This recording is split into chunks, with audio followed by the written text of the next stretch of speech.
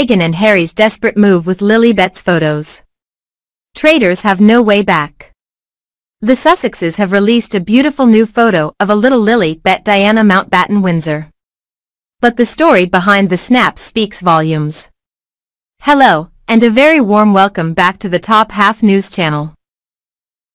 First of all, there are a couple of things we got to get straight right off the bat. So Lilibet Diana Mountbatten Windsor she is an absolute angel and those Spencer redhead genes, they must be the biological equivalent of tungsten. Early on Tuesday morning, Harry and Meghan decided to release a portrait taken of Lilibet on her first birthday on Saturday during casual intimate backyard picnic of Frogmore Cottage. So that happened while the family were back in the UK, celebrating the Queen's Platinum Jubilee. And they also published a second black and white photo of a group of people, including Meghan and Lilibet. What, after you have an intimate gathering, you don't publish photos for the whole world to see anyway. Okay. So these photos of Lilibet are the kind of heart-melting images that parents all over the world treasure. And they're also the kind of hard-melting images and memories. The parents all over the world happily keep private in a photo album. Or maybe at most, they'll share those photos with loved ones, but it's the Sussexes as we're talking about. And when, have they ever actually just stuck to tradition? So the obvious question here is why Harry and Meghan are no longer working members of the royal family. They ran away from that a long time ago. Now, as everybody knows, there is an expectation. If you're a working royal that you'll regularly share carefully controlled snaps of the children's lives with the public. On Archie's first birthday in 2020, they did post a video of Meghan reading a story to him. They did that supposedly to raise money for charity, but since then they have done things. However they wanted to, they have not followed protocol or tradition at all. Last year for Archie, second birthday, they only released photo of him holding some balloons and that photo was taken from the back and it was a weird photo, too. Same goes for their Christmas card that year. Uh, in that photo, they were basically all rendered as illustration.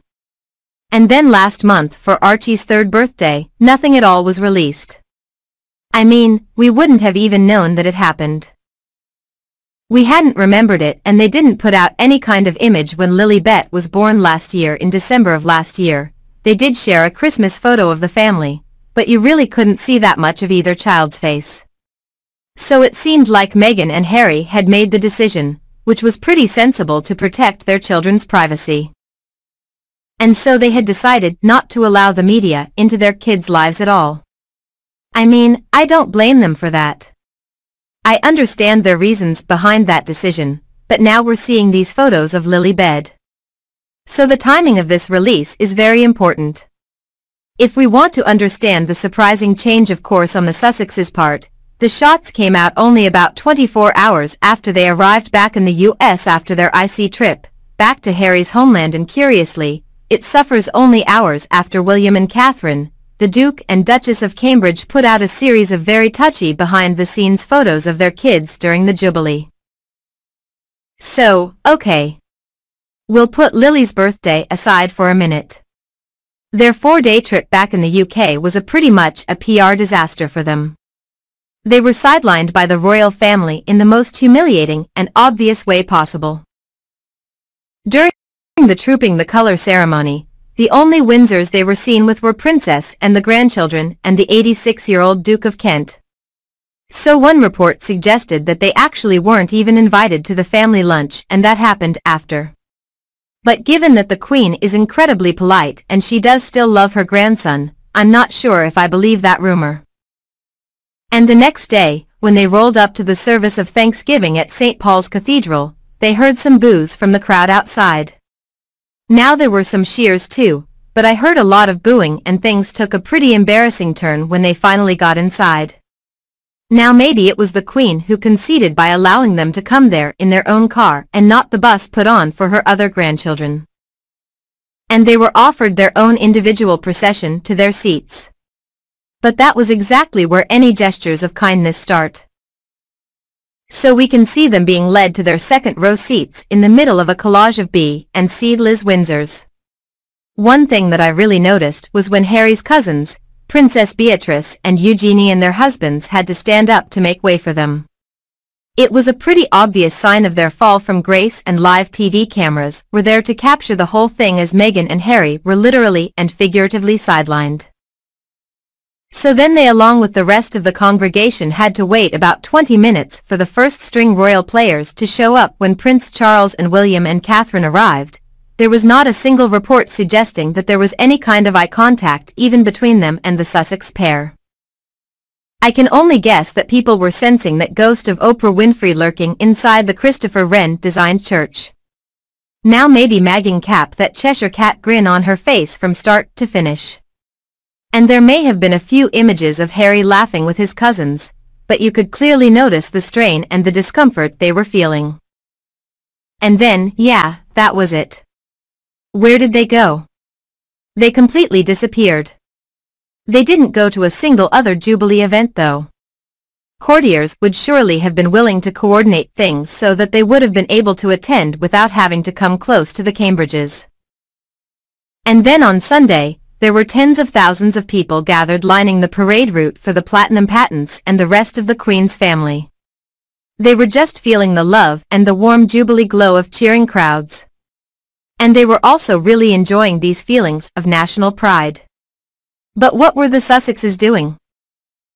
Oh, they were already on their way out and information that has come out since then only make that trip look like. Of course, they traveled in a private jet and that's a trip that would have cost them about $278,000, according to The Sun.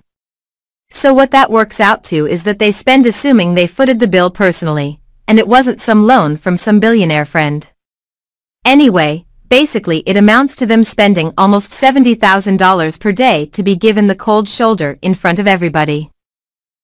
And then another report came out from The Sun, claiming that the Queen had actually banned Meghan and Harry from bringing along a photographer. When the 96-year-old finally met her tiny namesake for the first time. An insider has said, Harry and Meghan wanted their photographer to capture the moment Lilibet met the Queen, but they were told no chance. It was a private family meeting. So essentially, it's pretty difficult to see how the Sussexes' grand British return could be viewed as anything other than a big disaster. They did not reconcile with family. There was no big PR win. So because they didn't bring any cameras with them, they also didn't get any good Netflix footage. And all of that happened at the expense of their egos and probably also their bank balance. So now my friends, we have finally come to the release of Tuesdays, a Lilibet images, which considering the preceding days, Events begin to look like a pretty transparent attempt to right the publicity ship and change the prevailing narrative from an embarrassing failure to, baby. If Harry and Meghan's jaunt in the UK had been as a success, would we actually even be seeing these images? I mean, if it was all glowing coverage and flattering opinion pieces, would they have bothered publishing that photo? If they had come out looking like the bigger, better people. If they had made it look like they were just trying to overlook the palace's alleged sins of institutional racism and cruelty in order to celebrate his grandmother's big moment. Would we have been seeing this image at all? Anyway, I guess, I can say that at least both Lilibets did look like they had a pretty good time over the past few days. Although when, if ever they may both be in the same country again. Well, that's another question. And you, what do you think about this photo? Please tell me what you think below in the comments section. And we'll also talk about Meghan and Harry's daughter. If you think my video was useful, don't be afraid to like and share it with your friends who would also enjoy it. And don't forget to subscribe to the Top Half News channel to get more videos in the future. Now thank you for watching goodbye, and I will be back to see you in the next video.